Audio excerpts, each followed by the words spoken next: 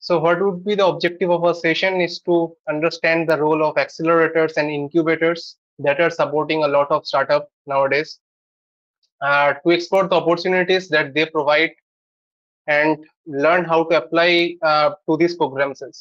And also I will share my experiences of working with them. And at last, I will uh, do an Q&A session where you guys are feel free to ask anything that you have in mind one thing that i'm going to not do is bore you with typical definitions because uh, this information is something that is not very private. You guys can easily search on the internet. So there is no point of me like describing each definition like point by point because it would just waste your time. As i said previously i want this uh, session to be as engaging uh, like as engaging as possible so that you guys can learn something and I can also learn something from you guys. So first of all, like, uh, can someone tell me that what is an accelerator or an incubator? Like before coming on to this slide, can someone uh, just raise their hand and tell me? Anyone?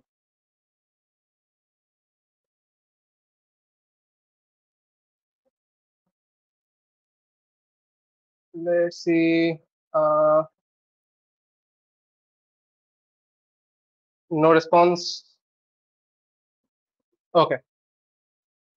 Uh, let me uh, give you a basic overview. Right.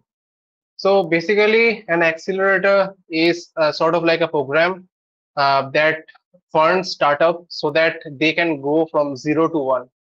Right. Their span is very short, like uh, from usually from three to six months.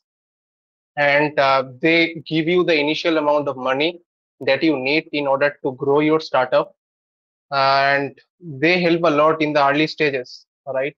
Whereas in incubators it takes your startup from that 1 to 100 they uh, help you in building a startup that will be sustainable for the long term it could be an ideal uh, solution to a huge problem that is faced by a lot of people. So it uh, happens uh, like on a span of one to two years and uh, like also it helps in uh, like delving a lot more stuff which i will discuss at the very end right? In terms of mentorship like accelerators do provide you mentors but it is not as intensive like they give you like basic very few pointers and stuff whereas in, in, in incubators like a lot of the mentors work with you uh, on a daily basis work with you full time. They give you the complete structure that how things should go and like how things should proceed.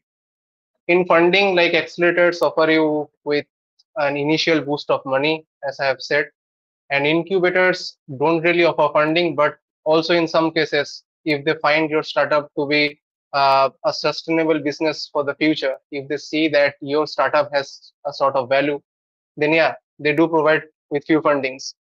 Uh, the structure of the accelerator is that uh, on a fixed timeline let's say in three months uh, they take around like let's say 10 to 12 startup they work with all the startup at the same time and after the deadline like you are no longer a part of the accelerator so you are on your own trying to build uh, everything. And in terms of incubators like once you become a part of an incubator like they sort of like become a part of your team. You start to get a lot of support from them build a lot of stuff along with them. So yeah it's a very engaging uh, environment in an incubator. Now what are the basic differences in both of them? As like i have mentioned in my previous slide that the duration like accelerators last very short incubators last very long. And then the focus is on rapid growth for accelerators and for incubators it's specifically on the business model. And mm, like cohort versus rolling basis like how accelerators and incubators work. Like so far uh, in this do you have any questions that you want to ask me? Or is uh, the difference between an accelerator and incubator clear like, do you guys have any questions that you want to ask?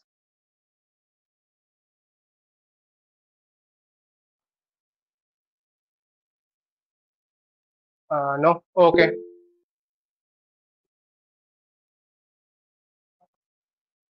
No. Okay, fine. So then moving on ahead with the session. So like here are few of the resources uh, that provide the accelerators and incubators in India.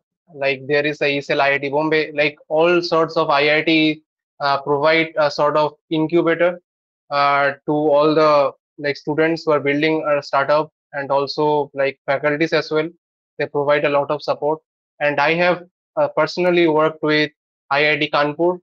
So I will share that experience as well, like how I did it and what are the things that I built. Uh, so basically, see, I will not go into details about this sort of list because, as I said, this is very easy to find. And at the last, I will provide you with the list of my own, which you can go through and learn about all sorts of different uh, these stuffs.